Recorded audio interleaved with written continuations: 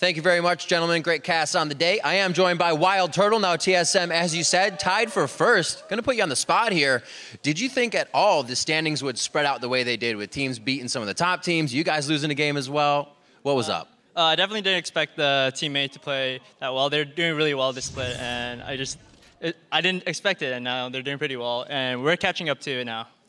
All right, so it looked like you had some fun on Kalista that game. Now that it's going to be banned forever on out here, you know, was that something you guys came into the day wanting to play, or just since people were playing it, you thought you'd give it a chance?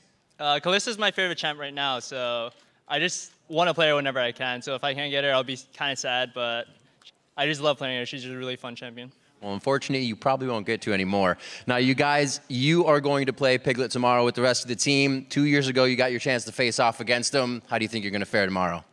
Uh, I, I don't know. From today, I think I can do pretty well tomorrow, but we'll just have to see how uh, the games go. All right, Wild Turtle, thank you very much. Congratulations on the win, and we're going to send it over to the guys at the analyst desk to break down.